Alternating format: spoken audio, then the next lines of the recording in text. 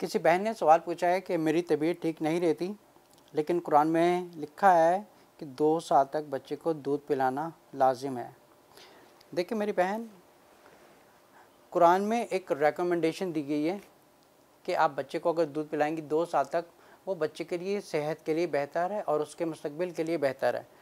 लेकिन जहाँ तक एक औरत की तबीयत ठीक नहीं होती, लेकिन ये उन पर ज़बरदस्ती नहीं की गई कि आप बच्चे को ज़बरदस्ती दूध पिलाएँ। लेकिन लेकिन क्योंकि अल्लाह ताला ने फरमाया गया कि इंसान के लिए बेहतर क्या है? जैसे अगर हम मार्केट में देखते हैं, सिमिलाक मिलते हैं या इन्फॉर्मल मिलते हैं, लेकिन लेबॉर्ट्री के हिसाब से इन्होंने सेम फार्मूले बनाए गए हैं, इन्होंने सेम फार्मूले बनाए हैं। लेकिन जो एक अल्लाह ताला ने एक माँ की छाती में दूध डाला है, वो एक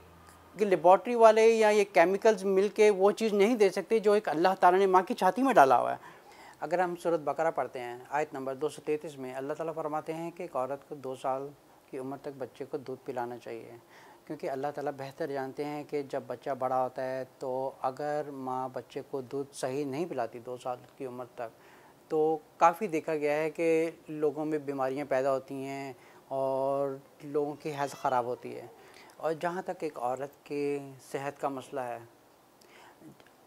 एक औरत के लिए ज़बरदस्ती नहीं किया गया कि अपने बच्चे को दो साल की उम्र तक ही दूध पिलाएँ। लेकिन अगर इस काबिल है कि एक माँ की सेहत ठीक है और उसको छाती में दूध आ रहा है तो उनके लिए बेहतर है कि बच्चे को दो साल की उम्र तक दूध पिलाएँ। ये बच्चे के लिए भी बेहतर है और माँ के लिए भी बेहतर है, क्योंकि ऐसे भी देखा गया है कि जो माएँ दूध नहीं पिलाती तो एक तो उनकी माँ की भी सेहत ख़राब होती है और बच्चे की भी सेहत ख़राब होती है। लेकिन माँ की तो टेम्प्रेरी ख़राब होती है, लेकिन अगर लॉन्ग टर्म में देखा जाए तो एक बच्चे जब बड़ा होता है तो उसकी डेवलपमेंट में भी इस चीज़ में बहुत फ़र्क आता है।